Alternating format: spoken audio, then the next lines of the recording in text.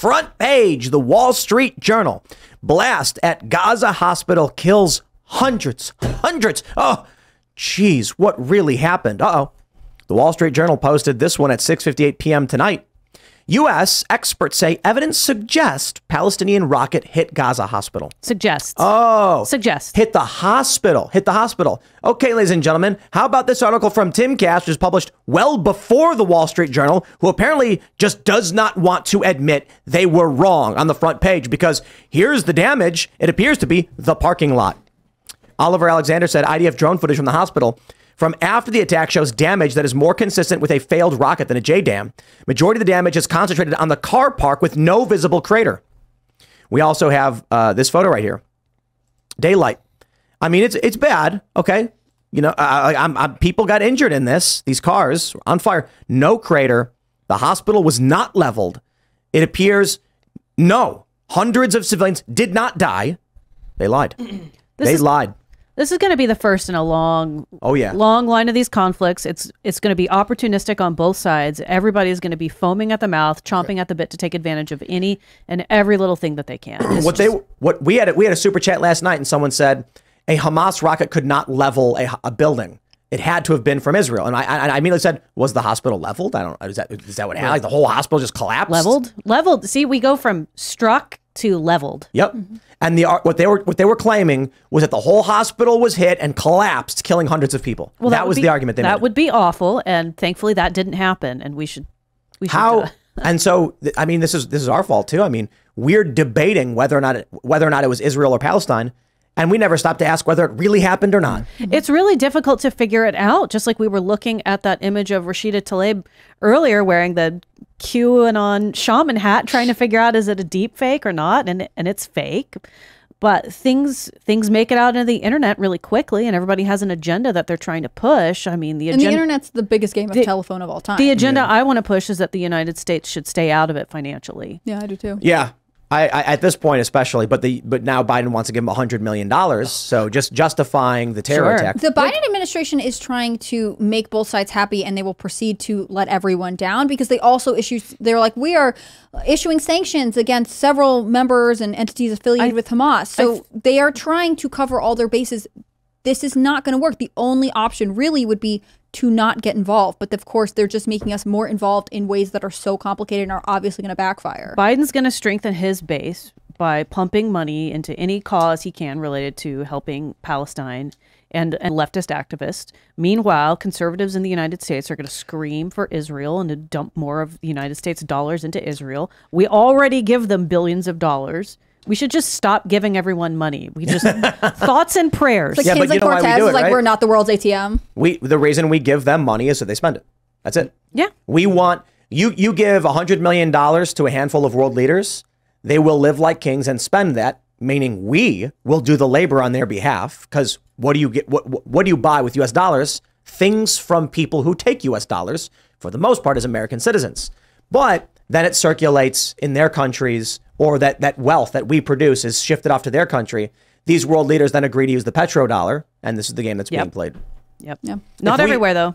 Some Not people everywhere. yep. Some people are saying they've had enough, and I don't know whether that's going to play BRICS. out. Yep. I don't Yeah. know if that's going to be good or bad for us, but it is happening. Isn't isn't it kind of funny that uh, around the same time the BRICS nations are announcing their own currency, and several nations are announcing they're going to stop trading in U.S. dollars or they're going to start trading in yuan. World War III seems to be breaking out. Yep. How convenient. How We've got we've got nineteen thousand personnel in the Mediterranean just outside of, of Israel. We've got two thousand uh, uh, more ready to be deployed. Yep. They're saying the Pentagon is preparing, preparing them to go on the ground potentially. Yeah, I, I, I look. The embassy in the United, the U.S. embassy in Lebanon is set on fire last night. Yeah. So sad. They need it. They need a Casus belli.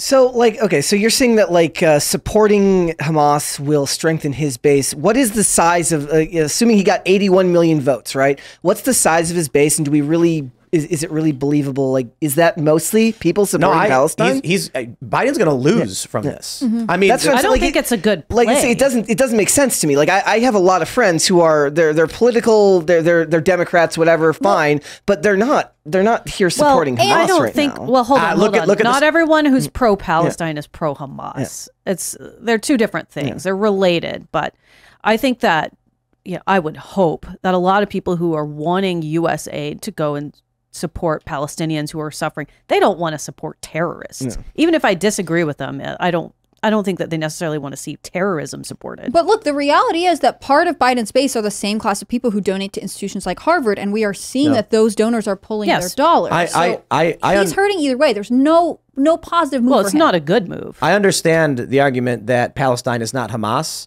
but I do kind of think that's a bit naive. Because if you're if, if Joe Biden says I'm going to give 100 million dollars to the people of Palestine, we know where that money's really going. it's going to get confiscated by Hamas. It- it- confiscated or just given to them. They're the government in Gaza. They will just take it. And it's also basically saying if you engage in terror, even if the money was, was specifically given to NGOs and it resulted in people getting cleaner water and buildings and air conditioning and, and, and other things they, they need, then Hamas is basically told, like, well, whenever you need money, whenever you want money for your people, whether it goes to you or not, all you got to do is go kill It's a- thousands of Israelis. It's a terrible precedent. Absolutely. And and so when it comes to these people who are like we we're we're defending Palestine, it's okay. Well, the Palestinian people vote for vote for Hamas. Not, not all of them, though. no, but but but the point is, there there that you you can argue for civilians that I totally get, Mm-hmm. but the government stands in the way. And what is the solution then? the solution is the United States has got to stay out of it. I completely agree. So, but people who say I'm s- uh, that want to support Palestine, no, you, you, you, there, there's no way to support one Get and, and not the other. creative. Get creative. I haven't figured out how to do that. No, no, you, we can we can stop supporting uh, all of it altogether, Mm-hmm. or you can support all of it. Like the, the idea that you can support the Palestinian people and not be supporting Hamas is incorrect. I know I'm, I'm not saying you are directly funding and allowing Sure. Hamas to engage in what they're doing, but what you give when you donate to these groups will find its way to empowering Hamas. Former Congressman Justin Amash, uh, his family was Palestinian, Palestinian Christians, and they were sponsored over here by Christian missionaries. So I don't know how easy or challenging that is currently, but that's one way to try to help people is get them out of that situation. Sure, That's what But the- be very people who are trying to leave that I that I can That's totally what the agree First. Minister of Scotland is saying today. Yeah, he but- said Scotland will take refugees from. Be from Gaza. careful who you invite into your country and That's home. that, that's it. I mean, careful.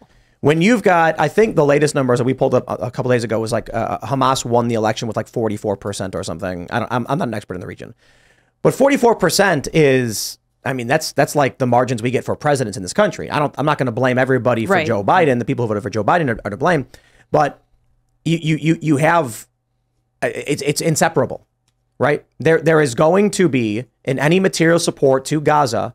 Material support going towards Hamas. Sure, it's just like Live Aid when when they when politicians and celebrities and musicians everybody got together to to pump money into Africa. It went to African warlords. It didn't go to the people who needed it. This It's is true for, tragic. for anywhere we give money. This includes Israel. yeah, absolutely. When we when we when we give money to donate to Israel, you are strengthening the economy and the structure and the infrastructure of Israel, which ultimately can run up to the IDF, to the Israeli government. I am not saying that is right or wrong for either. I'm saying they're inseparable. Mm-hmm. So that there's, a- I, I'm frustrated by the people who are like, we don't, we don't like what Hamas is doing. We support the Palestinian people, and it's like, well, the plurality of the voters support Hamas, and Hamas just massacred a bunch of civilians, and now our government's giving them more money. I got a simple solution: cut it off. I think Like the, no, no more, no more funding. the best thing that we could do is try to try to facilitate peace talks. It's not gone well in the past. That's that's about it. That's I, and, and, that- and that's and that's the thing. It's like, I, look, man, there's, there's no easy answer here. Yeah. I see what I- what I see here with this conflict is really exemplified by what we see with the left, where these leftists are cheering for death. a lot of them are. Yeah, I mean, when, when they post a picture of a paraglider, That's gross. They're It's celebrating death. Absolutely. no question. And maybe there's the banality of evil in the morons on the left who have no idea what actually happened and are just waving the flags and raising the fist. But when these groups organize and outright issue statements saying they're freedom fighters, when the professor said the professor said settlers are not civilians, they will lie to your face as they've done. They will cheer for death. And then we're supposed to sit back and be like, let's be reasonable here, guys. Let's make sure we're helping the civilians. Like, no, no, no, dude, dude. Well- they're lying to you and they're committing the, the people, Hamas is killing people. I'm not saying Israel is innocent. I'm not saying any country in war. There, there's, there's, there's always some, some nuance of the conflict. There's always collateral damage. It's, it's never good. But I'm just sick of being lied to. And when you look at what the left says and does, they cheer for your death and they lie about being victims. So it's just like, stop, just stop. The Israeli government does not treat people well over there, but there's no that doesn't justify murdering people with paragliders. And it's really unfortunate that people on both sides, no one will just admit murder is wrong. So, so uh, when when we have this video that comes out, um, and we had this, we had Max Blumenthal, and he's talking about the March of Return. Okay. Palestinians peacefully marched to the fence with their hands up, and Israel still shot at them. Okay. That that's the kind of story where you're like, oh wow, I mean, like that that sounds really bad. Why would they do that? Well, here's the question I have. I, I'll ask you, as I'd ask anybody: If Israel removed all of the security perimeter around Gaza and told the people of Gaza they're free to move through Israel, what would happen? Oh wow. I mean, you'd see a lot of different mixed reactions there. But I think you'd Well, see well, violence. well, That- that's yeah. what It you'd be a see. massacre. By who? I mean, both sides. I assume. I doubt the the old ladies in the kibbutzes are going to pick up guns and go No, charge. not old ladies. No, what likely would happen is there's going to be a bunch of fighting age young men, mainly Hamas, substantially more than we saw actually paraglide because paragliding is difficult and more expensive. Sure. And they would rampage through the kibbutzes, the villages, make their way to Tel Aviv, and start just massacring people with rifles. I think you'd probably see some Israelis who were angry doing similar things. Yes, but the Israelis aren't going to storm into Gaza. If the if the security barrier of Gaza was removed, Israeli citizens are not going to run full speed into Gaza to start massacring people. Yeah, it's defensive versus offensive. I think we're missing that. I mean, so there was this Irish politician who I saw a clip of talking about how I think his, his name's Paul Murphy, talking about how people should he, he's pro Palestine or I- I mean you could I don't know if you would argue that he's pro Hamas, but he's saying that this is not a conflict between equals because uh, Israel is significantly more financially Sure. and militarily advantaged. But I don't think th- that that may be true. On the other hand, the solution being like we should have peace talks is almost to me ineffe- ineffective because there's no peace between these two people. I don't they think have been at there never will be. They have been at conflict for a long time, and Israel has been, you know, has taken aggressive moves in, in their own steps, and Palestine and Hamas have responded in turn. I mean, what would peace possibly look like between these two? I don't think they're ever going to solution get that Hamas yes. rejects. I Yeah. think the best you Ha- can Hamas do would is never back down. I mean, I, I don't think that there's any. eh, From what I know, and I've been trying to research this more for, for Palestinians, there is no compromise because they always feel like they are getting the short end of the stick. the best you could do is try to negotiate a two-state solution. I don't think that there will ever be peace in the Middle East, but I think that it's possible we could de-escalate this and there would be less death. There will never be a two-state solution when one side says no, and from the river to the sea. Well, both sides are saying no right now. Yeah, but one side says from the river to the sea. Like the left that stormed that capital, they're they're chanting for the eradication of Israel. Patrisse Cullors of BLM 2015 said end Israel outright. So if we're going to Israel and saying like what can we do to stabilize the region with a two-state solution, Israel has an open door for negotiation. I'm not saying they're innocent. Didn't a lot of people in Hamas didn't they didn't they write in their charter that they wanted to go back to like a 1967 agreement and have a two-state solution? So so the issue I don't want to be I- arguing for Hamas. It feels gross. Yeah, no, I mean Hamas's original charter said the eradication of Israel, and and I, I mm-hmm. think it might have specifically referred to the Jews themselves, right? Yeah. And then it was amended, I think, in 2017 to tone that language down, probably Good. because they knew they relied on international support. Sure. But those people's sentiments don't change. The, the the the issue is, I don't care who you support. The issue is there are two ideologically opposed groups. Yeah. There's one chanting from the river to the sea. Okay, like The other if- one's if- just saying just saying it quietly, maybe. Israel, I, I, I I don't know if there is a slogan of Israel to chant other than we've seen some people say they want to glass Gaza or something like That's that. that's quite intense. I don't know if the government is outright coming out and saying those things. It seems to be the, the, the Israeli government understands the nuances of international relations and is trying, at the very least, we can say this, whether they are or not, they're putting on the front of we try to minimize civilian casualties and we are only responding, we are not instigating. So when you have war between two factions and one side wins, there is no solution where you're just like, well, no, I, I understand these are warring factions with deep ideological tensions going back thousands of years, but let's just let's just have peace. It's like, uh, Well, okay, certainly not. That's very naive. It's, never going to happen. That's very naive. I, I- I just I'm looking at this and I'm like, well, Hamas just lied about everything. I mean, they they paraglided into uh, into Israel and they started killing civilians, killing children, and that is their their their their their, their uh, military doctrine: kill civilians and capture civilians. Is it's part. terrible. Be, uh, so uh, how do we have peace with that?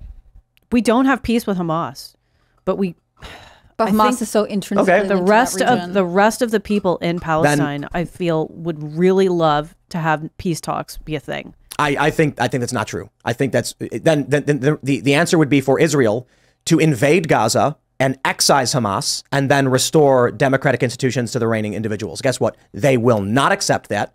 The other Arabic nations have outright threatened that if Israel does that, it's going to escalate. Mm. So that's not going to happen. And then Israel's mm. other answer is airstrikes on Hamas targets, which results in massive collateral damage. So we're stuck with an open air Stop funding any of it. institution. I say, in The U.S. should not be end, involved in an I do agree with unsolvable problem. The the one who lo- and then another group that loses is the American people as more of our tax money is funded into. I think we should absolutely. I think one of the ways that you might see a better outcome in this is if we stopped giving Israel United States money. Here's the the argument Ben Shapiro made, which is not without its merit. I don't completely agree. Is that Israel will not allow itself to cease to exist. It will not allow defeat. That's and it okay. and it is considered what the fourth strongest military. It is also widely speculated they have nuclear weapons. Yeah. The Samson option is if Israel is facing extermination, they will use nukes to defend themselves. Okay. If the U.S. does not make every attempt to stabilize the conflict, it will devolve into World War III. That's basically what Ben Shapiro's argument was.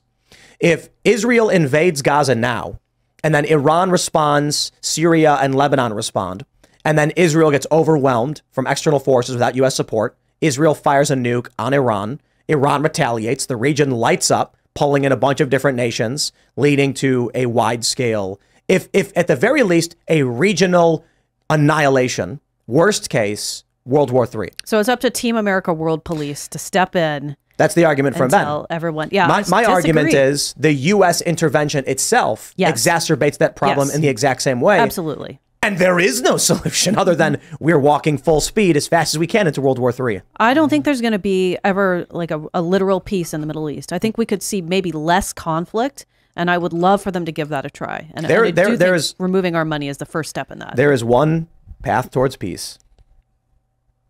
Well, it's actually two. The, the, the, the path towards peace that we hope for is generational uh, um, uh, uh, proximity leading to a generational de escalation. Yep. as more and more of these people grow up in these areas and want nothing to do with the conflict and just to live better lives, and the old ideas and traditions fade away, they'll start to say like, why, are- why, why were my great grandparents fighting? Like, I don't, I don't want to have anything to do with them, man. Just please leave me alone. So one of the things that helps uh, uh, helped racism kind of dissipate in the United States was proximity. People growing up next to people of other races being like, we are friends. Like everything they said about that guy was not true. And so it removes those stigmas and stereotypes. We could also remove sanctions on Iran and kind of just leave the rest of the Middle East alone and stop engaging in regime change every now and then. That would probably help. I don't think well. that's going to. I, I, I, I'll, that that won't stabilize the region. Uh, I think I think it would stop destabilizing it so much. I, I think before the United States was in Afghanistan, you had the Soviets there, with- in the and and and then we we backed the Mujahideen because we're it's a proxy war. So whether it's us, China, or Russia, there is going to be foreign influence manipulating and you and and and fighting over the Middle East. I'm not saying I have a good solution. I'm just saying that it seems that we are facing with with thousands of years of ideological uh, uh, hatred, there the two solutions would be: can we just do everything in our power to try and stabilize this, so that over a long period of time the fighting calms down? Maybe not, especially when you see the the, the children in Gaza are being taught explicitly to Yep, hate they hate us. hate hate us and Israel. The other solution is the one that nobody likes to admit, but is uh, in, in all sci-fi the trope of what the AI does to bring about peace. Wipe out humans. Well, I mean that seems a little, maybe a bit much. That's the extreme instant. Yeah, I- yeah. There's peace when there's no one left. Yeah, I think I think we could not do that. I, I think you know that our The goal is to avoid that from happening, and that is the the the terrifying outcome of if we can't solve the problem. In our whatever way. involvement in the in the Middle East has just been an absolute failure since the Iraq War, since Desert Storm, really, well before that. I mean, since since the Mujahideen. well, I mean, going. I mean, look, Iran, Sure, Yeah. the, the Top Iranian of the Revolution. Yeah, absolutely. And even the idea of proximity doesn't necessarily bear itself out to work because we may have had that at a certain period of time, but then the kids go to college and they learn all the things that they learn now, which teach you to hate your neighbor rather than to actually learn Yep. to understand them. So I don't know, as long as information is freely passed from generation to generation, if that is something that's going to happen, it's going to take an excessively long period of time. And as long as military action is still happening in the interim, you create new enemies with every new Well, military woke action. students here hate the Second Amendment and guns, so you know That's they not. That's not. Well, I don't know about woke. The far left likes guns. Yeah. It's the liberals who don't. The liberals don't. Uh, Yeah, the left loves guns. leftist college students here, I would say they don't like guns. It is also funny that you mentioned. I don't know about that. You think they like guns? Yeah, leftists like guns. They have they have like the Red Guard. They have the social. They have the John Brown Gun Club. But I think leftist college students are unique partially because of the impact that the Parkland school shooting had. That was like one of the big high school to college Yeah, no, I don't- I don't anti-gun think so. Push. See, I think you're that saying it more is. li- like I'd- I, I don't think so. I- like, all like of the Vaush, students- Vaush, Vaush is pro gun. All Yeah, of but the high schoolers that I worked with who are now in college He's a, are a anti-gun. prominent leftist with hundreds of thousands of followers, and he's 26. He's a he's a small demogra- He represents a small demographic of gun loving leftists. I I think you're wrong. I, the, the left the leftists love guns. It's the liberal. it's- It's, uh, yeah. it's the average liberal that hates the guns Yeah. now. There, Yeah. there's There far less. Uh, there's far less of your gun owning blue dog Democrats than there was before. Yes. and the rest have been turned by the media, by Hollywood, by all these places to be extremely anti-gun because they read articles every day that says there's been 90 school shootings today, Mm-hmm. um, and all these things. It is funny that you mentioned Team America World Police because that movie, you know, I, I mean, actually, when you think about the people that made it back then, might have been more libertarian, but it would have been Hollywood back in the day that Yeah. would have been True, very very like true. uh, America needs to stop intervening Well- in these foreign it. conflicts. Maybe we'll get another one. Yeah. You know, except this time it seems more like instead of just stay out, it's just give everybody money. You know, so which is never going to work. That's the most ridiculous solution of all Team time. America, World Bank. Thanks for watching this clip from the Timcast IRL podcast. Hang out with us live Monday through Friday at 8 p.m. and become a member over at timcast.com for uncensored, members only shows exclusive. Thanks for hanging out, and we'll see you all next time.